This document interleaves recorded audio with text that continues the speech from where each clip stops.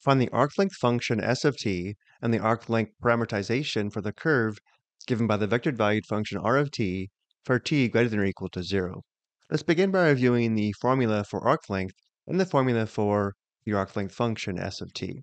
Recall for arc length, we have the arc length s equals the integral from a to b of the magnitude of r prime of t dt, and the result is a numerical value.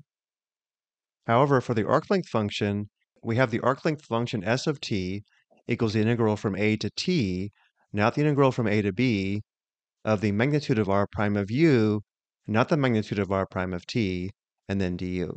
Because the upper limit of integration is t, we know the final result will be a function of t, but because of this t, we cannot have a function of t as the integrand function, and therefore we perform a change of variables to the vectored valued function r of t. Notice here the change of variables was to let t equal u. So to get started in our problem, we'll first write r of t as r of u, indicating the x component is x of u equals negative 5u minus 2, the y component is y of u equals negative u plus 1, and the z component is z of u equals 3u plus 5. The next step, let's determine the derivatives.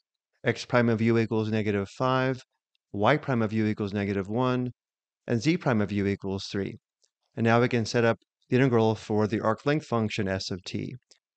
We have s of t equals the integral from 0 to t. The lower limit is 0 because we're given t greater than or equal to 0. So again, we have s of t equals integral from 0 to t of the magnitude of r prime of u, which is the square root of the sum of the square of negative 5, the square of negative 1, and the square of 3 du. Simplifying the square root, we have the square root of 35. Integrating the antiderivative is square root 35u. Now we determine big F of t minus big F of 0, which gives us square root 35t minus square root 35 times 0, which equals square root 35t. We now have the arc length function s of t, s of t equals square root 35t.